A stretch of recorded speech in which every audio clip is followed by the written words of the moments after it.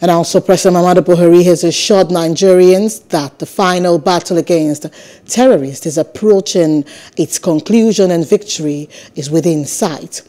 In his Sallah message, the president who sends his best wishes to Muslim faithfuls maintained that the fight against insurgency has been a long and hard one. He said with the designation of bandit groups as terrorists, the challenges of banditry and kidnapping are being tackled the president also expressed delight over what he described as impressive reports of the special operations to curb crude oil theft and illegal oil bunkering in the south-south zone of the country. Earlier, we were joined by the Imam of the Outliers um, School Mosque, Dr. Abdul Fattah Olajobi.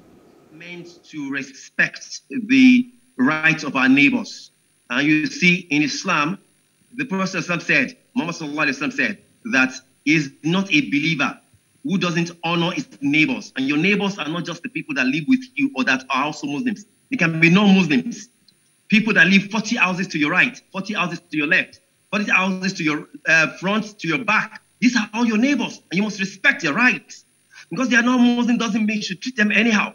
And elections are coming. We need to behave um, with all civility.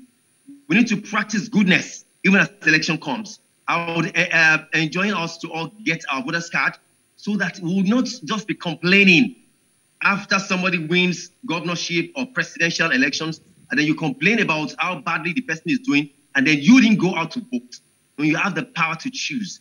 So we need to do all this so that our nation can be great again. Really, it's not supposed to be. It's not supposed to be so difficult because we fasted for 30 days, and Neuroscience has shown that whatever you do for about 21 days consecutively, you do it daily for about 21 days, your brain gets used to it and you form a habit.